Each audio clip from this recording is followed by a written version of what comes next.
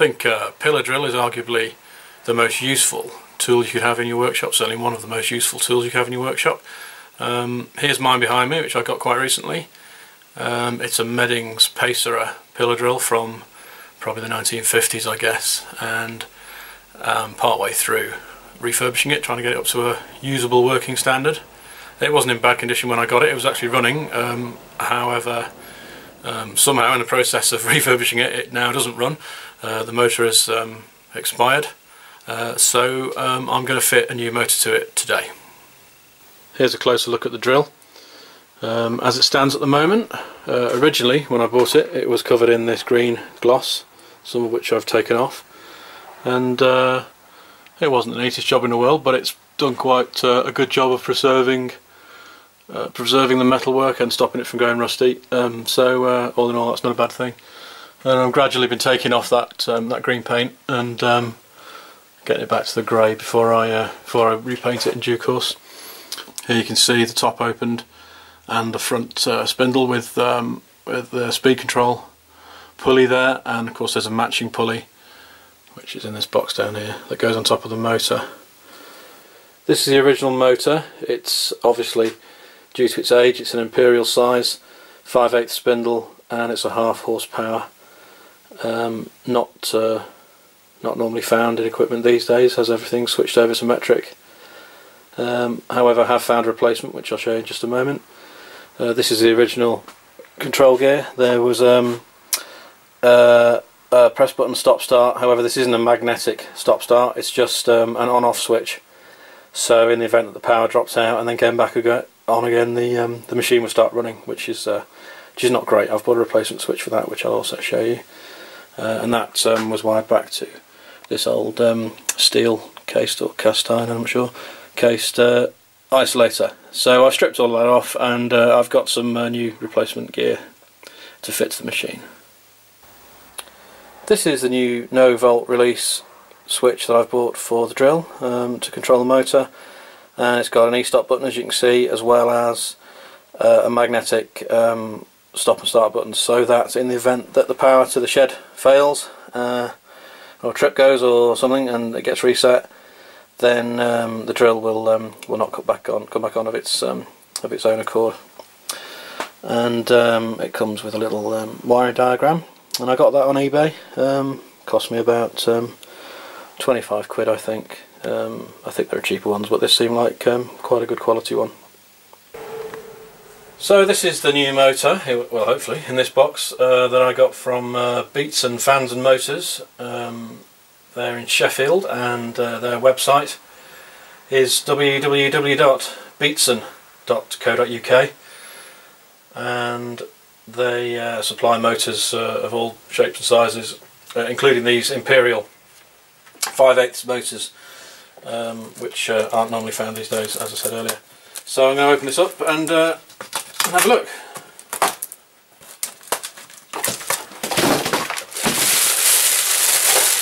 Okay, so there we have it. New motor. Half horsepower. So in new money that's 0.37 of a kilowatt, 240 volt, and a little wiring diagram, that's handy.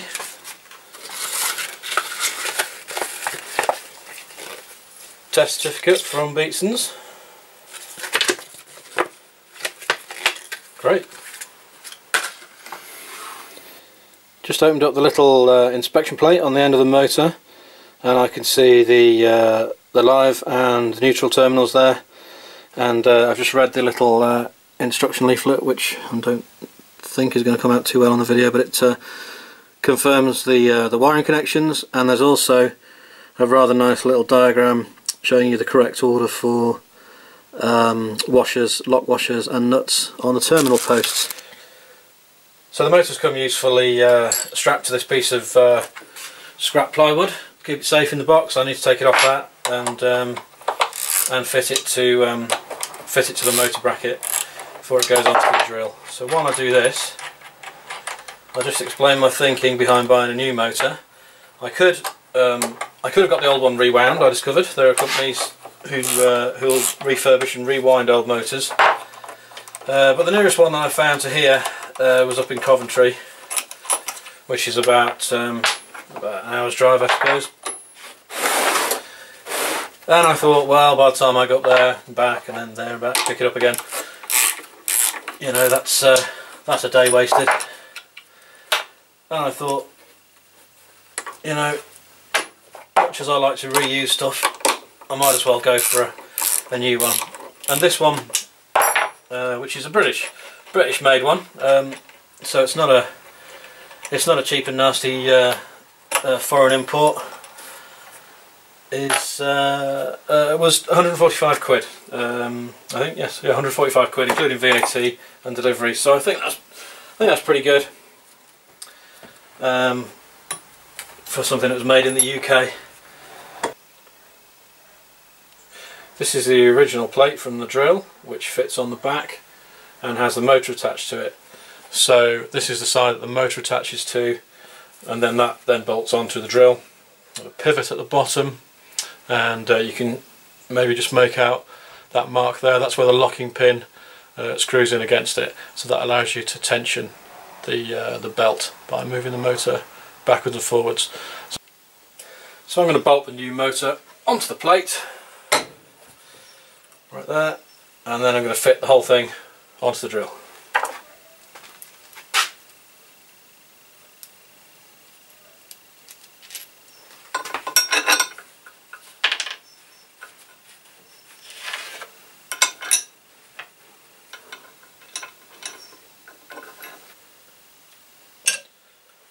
So that's the motor bolted up. Um, there is a bit of adjustment in the plate. Uh, the motor plate itself has got uh, slotted holes going side to side. And the plate from the drill oh, it's heavy has got uh, slots going in the opposite direction. So you can move it around um, a reasonable amount. Now I don't know exactly where this motor needs to go because it's not quite the same shape as the as the original 1950s one. But the plates are a very similar uh, shape and size. So I've uh, had, a, had a good um, a good guess at where it should go. Also, when the spindle is mounted with the uh, with the pulley, there's I won't put that on there; it's a bit too tight. Um, there's a degree of adjustment up and down uh, with that before I put the, um, the the lock screw in, so I'll be able to um, get height adjustment um, if it's if it's only fractional without messing about with the plate. Um, but uh, should, we'll see what happens. Okay, so I'm now going to put the motor onto the drill, or at least I'm going to attempt to. When I took the old motor off, I used a ratchet strap and I put it around here on the uh, on the, uh, the, cowling to take the weight because um, the old motor was um, or is considerably heavier than this new one. Um, but I think I can probably just manhandle this one into position. Um, but uh, to excuse the uh, uh, grunting and groaning that's bound to uh, bound to happen. This is the pin that uh, holds the bottom of the motor in. That goes through this plate here. It goes through the, um, the head, I suppose you call it, of the drill. Uh, through that hole there and out through another hole on the other side, which um, I don't know whether you can see on the picture. Um, so I'm going to try and lift the drill into position and then hopefully with the copper hammer I'm going to tap the pin in. See what happens eh?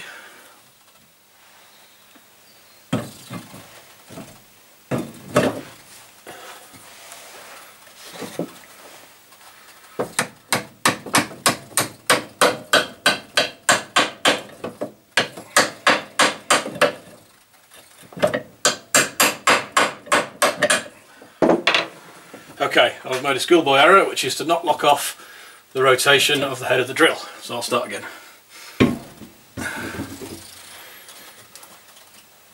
Okay, that's locked off. I need to tap the pin back a little there.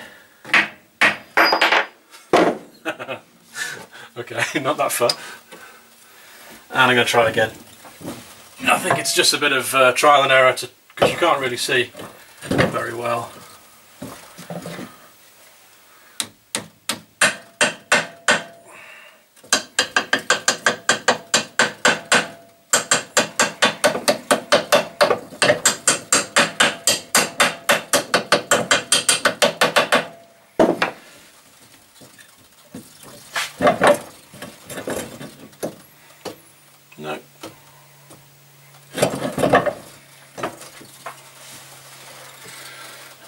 Lifting a bit more.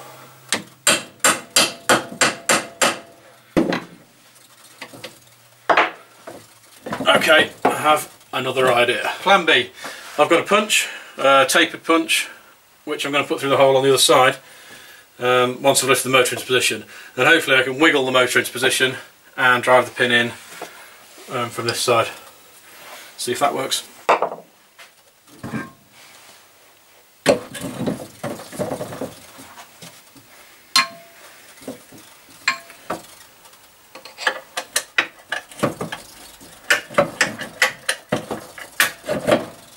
Right, that's found the that's found the hole.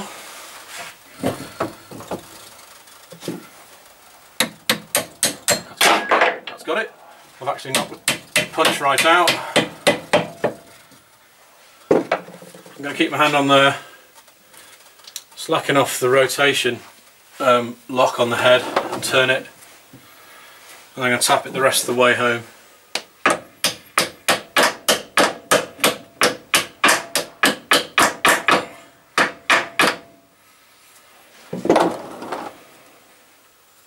Not quite. I think I'm going to need to use the punch to tap it the rest of the way.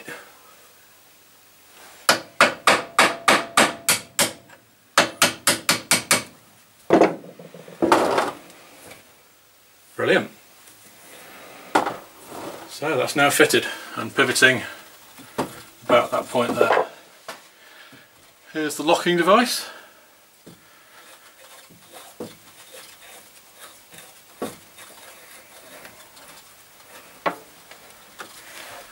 Locking it in a vertical position and there's a second one on the other side which probably, oh no you can see it, um, which is um, uh, straight head screw on the other side. Okay, so I've got the motor in its uh, most vertical position, pushed it as far as it will go in its adjustment and tightened off uh, this lever here and the um, screw on the inside that I mentioned. I've turned the machine round uh, to this angle with the lid open so that I can see what I'm doing. And I'm going to try and fit the pulley. Here's the pulley um, which came straight off the other motor very easily. Um, there's a slot in the um, in the motor spindle which is probably impossible to see from there but uh, you can take my word for it um, and I imagine that that's for fitting um, uh, a key, is it called a Woodruff key? I'm not sure, the type of key that allows you to locate a motor in, um, in a pulley or whatever. However in this scenario there's an Allen key um, Allen key headed uh, grub screw, that's the word I'm looking for, um, in the pulley. And the reason I sound vague is that I'm looking for the Allen key that I've just put down, there it is. Um, so this is a 4 mil Allen key. Now I imagine that in this um, old pulley this is some old uh, ye olde English uh, imperial size, I don't know, Whitworth or something. No, I haven't got any uh, tools like that, but this um, this 4 mil Allen key seems to fit, so that'll do. So I'm just going to have a go at fitting this on the spindle. I really hope it fits, and perhaps I should have tried this before I mounted the motor on the uh, on the drill, but hey ho. Oh, that's a bit of luck. That seems to fit a treat. I'm just going to turn the Allen key slightly just to see if it engages. Yeah, it does. That's a result. Okay, so I don't really have any point of reference for where this pulley should be. Um, height wise. I know where it should be um, in terms of uh, its relation to the other pulley because I measured the distance between the centre of the motor and the motor plate um, and indeed the drill motor plate if you like uh, and they were within a couple of millimetres uh, exactly the same. Um, so the adjustment in the in the belt adjuster will, will take up any slack there. But as I say I don't know how much uh, I don't know where this should be height wise so I think what I'm going to do is just make the top of this pulley and the top of this pulley the same in relation to the level of the top of this case. I can't really see what else I can do. So I've got a spirit level here to see what that's like. Well it's not quite level but uh, it doesn't really matter does it I suppose that's the level of the bench and the drill presumably is level in relation to its bed which is the main thing so the drilling will be square so if I make the top of those pulleys the same then that should be okay this is my theory. So, I got a piece of steel, just a bit of scrap um, angle iron. To put that on the top of there, pop that on there, and see if I can't adjust it. So it's about the same. And of course I've tightened the Allen key up, haven't I? Slacken that off slightly.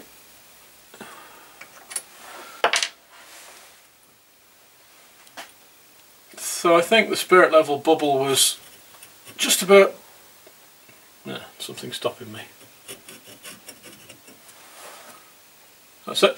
Just about level with the um, the first, the inner of the two black lines on the spirit level.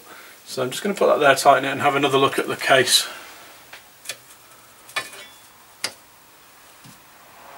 That's a little bit further actually. I think I may need to apply a little bit of leverage to lift the pulley slightly, so I'll just slightly slacken that off again hold it in place. Let's put this uh, screwdriver under just to pull it up a little bit. Yes, it's just overlapping that line.